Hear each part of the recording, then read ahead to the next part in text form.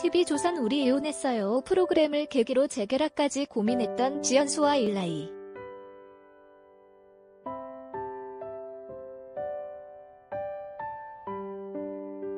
그러나 일라이는 결국 독립을 선언했다.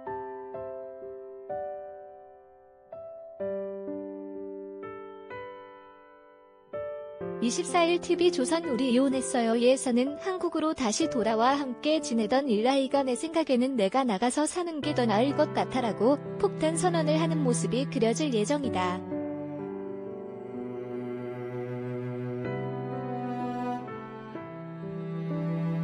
이혼 후 프로그램을 계기로 2년 만에 재회한 두 사람은 아들 민수를 연결고리로 함께 살게 되었으나 싸움은 다시금 반복될 뿐이었다.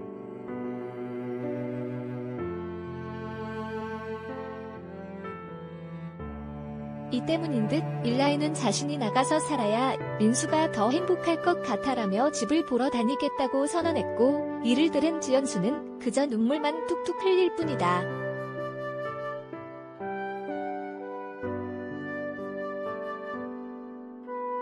한참 동안 말을 하지 못하던 지연수는 보통의 부모들은 아이를 위해 불편함이나 싫음을 참고 견디면서 인생을 보내잖아.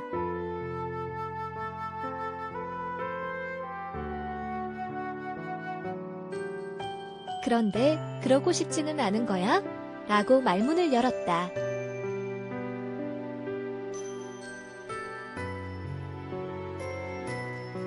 너무나 힘들었던 과거를 되돌리고 싶지 않은 일라이는 넌 참고 살고 싶어?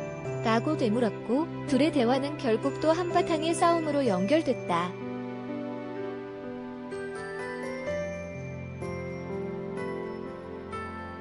아빠와 함께 살게 돼 무척이나 들뜨고 행복해했던 민수.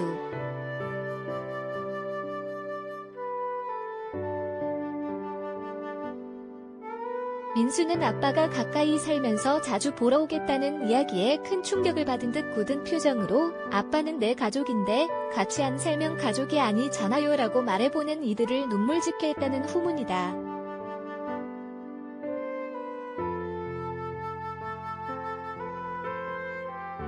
방송인 지연수와 보이그룹 뉴키스 출신 일라이는 2014년 혼인신고 후 아들 민수를 낳고 2017년 결혼식을 올렸으나 2020년 파경에 이르렀다.